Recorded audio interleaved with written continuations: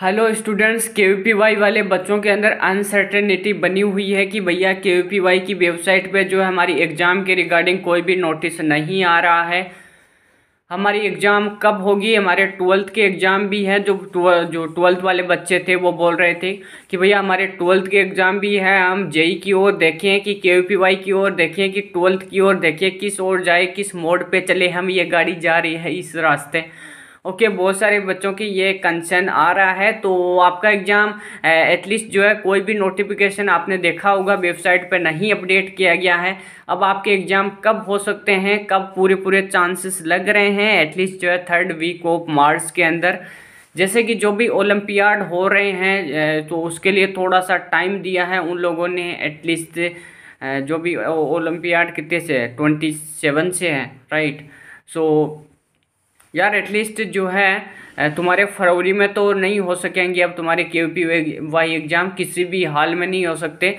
तो at least second week of March ही मान के चल सकते हो। ओके फ़र्स्ट वीक में भी बहुत कम चांसेस लग रहे हैं। तो सेकेंड वीक ऑफ़ मार्च में भी मान के चल सकते हो के पी वाई का जो भी सारा सिस्टम है।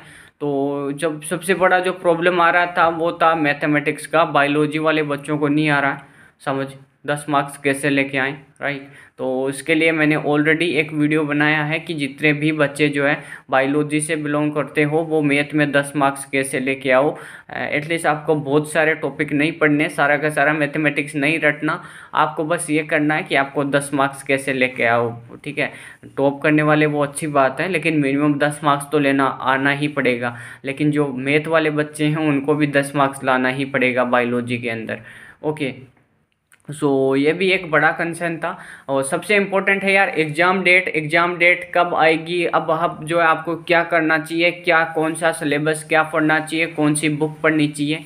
ठीक है मैं कोई आपको यार कोई बुक बेचने नहीं आया हूँ ना मैं कुछ बेचता हूँ क्योंकि मैं छबरी यूट्यूबर नहीं हूँ। ओके ठीक है कॉन्फिडेंस के साथ कह सकता हूँ आई एम नॉट ए छबरी यूट्यूबर रही बात आपके सिलेबस की तो एटलीस्ट आज अगर मैं बात करूँ तो पंद्रह हो जानी चाहिए पंद्रह फरवरी हो चुकी है। तो यार मैं तुमको 20 फरवरी तक का टाइम देता हूँ। 20 फरवरी तक जितना पढ़ सकते हो के वाई वाला सारा सब कुछ रट दो। उसके बाद में तुमको नया नहीं पढ़ना है रिवीजन करो। सबसे बड़ी प्रॉब्लम क्या आती है बच्चों के रिवीजन वाली? कि वो आगे से आगे बढ़ते जाते हैं, बढ़ते जाते हैं, पीछे वाला साफ़ हो जाता है एकदम। जिससे क्या होती है, बहुत ज़्यादा प्रॉब्लम आती है। अब आप एटलीस्ट बीस तारीख तक जितना पढ़ लिया है, पूरा फिर रिवाइज करना शुरू कर दो और ज़्यादा से ज़्यादा मॉक टेस्ट लगाओ ओके और जब भी आपकी के एग्ज़ाम नज़दीक आ जाती है तो वहाँ पे आप जो मॉक टेस्ट लगाना बंद कर सकते हैं। बिकॉज़ अगर आपके मॉक टेस्ट में अगर नंबर कम आते हैं तो आपको थोड़ी अंदर से फीलिंग्स गलत आने लगती है कि यार मेरे मार्क्स आएँगे कि नहीं आएँगे डीमोटिवेट हो जाते हैं। तो आप जो है लास्ट जो भी आपके पाँच से छः दिन बचते हैं, उसके अंदर मॉक टेस्ट ना लगाए।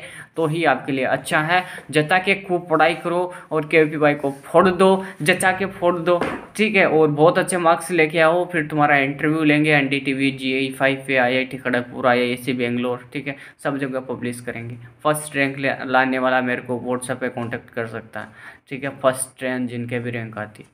ठीक है बच्चों? Thank you thank you so much खूब पढ़ते रहो की फसलिंग छोटों से प्यार करिए, बड़ों को सम्मान करिए। Thank you